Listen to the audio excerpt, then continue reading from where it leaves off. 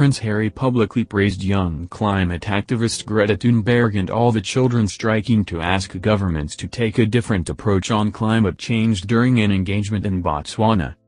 Prince Harry praised 16-year-old Greta and all the children demanding governments to take action against climate change in an impassioned speech delivered in Botswana.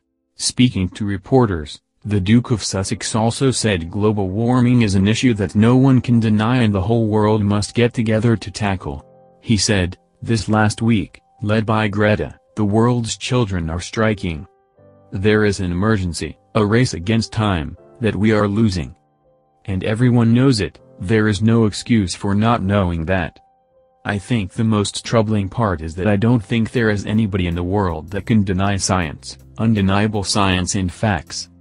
Science and facts that have been around for 30, maybe 40 years, and is only getting stronger and stronger.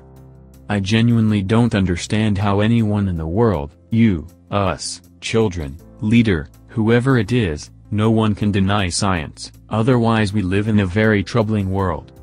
This morning, Prince Harry has also learned more about a project run by Sentebale, a charity he co-founded in 2006 with Lesotho's Prince Seeiso following an emotional journey across the small African country done during his gap year.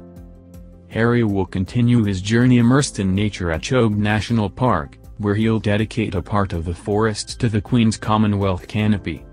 This will mark Harry's last engagement in Botswana, as the Duke will later move to Angola to walk in his mother's shoes and spend the evening at a new demining camp. His stay in Angola and visit to the Halo Trust, a charity removing landmines and debris left by war, will surely be emotional for the Duke, who will be able to witness firsthand the legacy of late Princess Diana and what her demining campaigning effort have produced. While Harry is in Botswana, Meghan is set to remain in Cape Town today with her son Archie, while Prince Harry have touched down in Botswana. The fourth day of the tour to Africa comes after Wednesday's whirlwind morning, when Archie attended his first ever royal engagement.